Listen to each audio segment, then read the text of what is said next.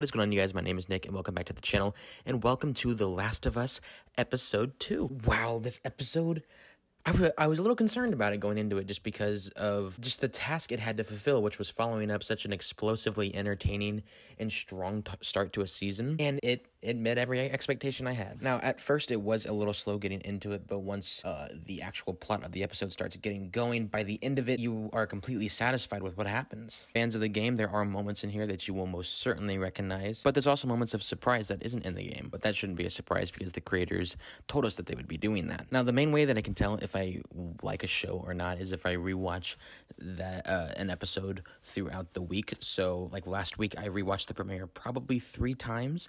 Um, Um, it just I don't know. To me, it just tells me how much of a replay value a show has, which in turn just tells me how much I like it.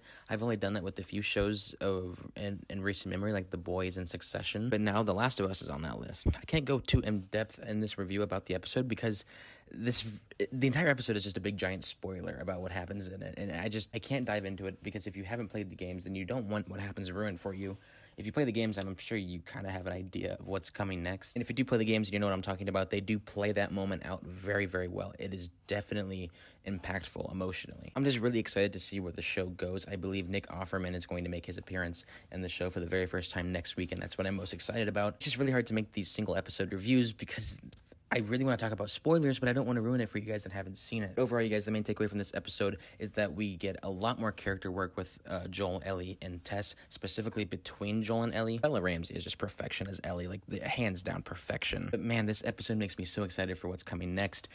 I think we are in really good hands with this adaptation, guys. Stay tuned on the channel for weekly reviews of The Last of Us, and I'll see you in the next one.